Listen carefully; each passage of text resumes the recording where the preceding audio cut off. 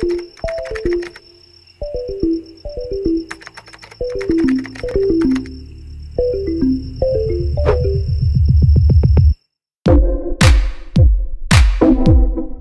I'm Vincy. I'm 23 years old. I'm from KL and I am an influencer.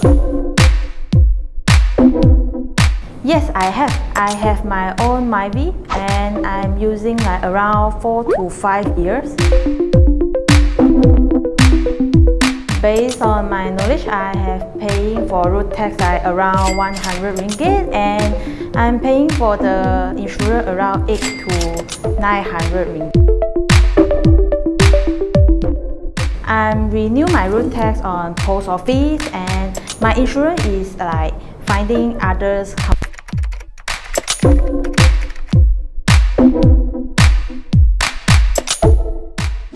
I choose Fincrew to renew my car insurance.